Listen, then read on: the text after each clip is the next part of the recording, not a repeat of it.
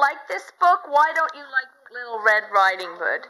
No, she doesn't. She she says that it goes against the dogs, the wolves that friends that she has. She says wolves are nice, Sejuna. Is are wolves right? Because this little Red Riding book. Red, I can't talk. No, no. Give me a kiss.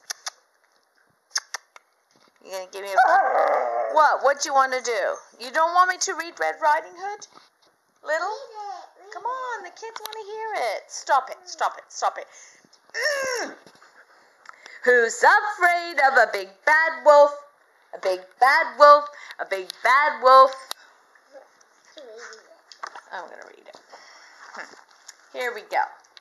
I thought I'd go and visit grandmother today uh, said Little Red Riding Hood, Hood, Hood, Hood, Hood, Abby. Woo! That's a good idea, replied her mamma.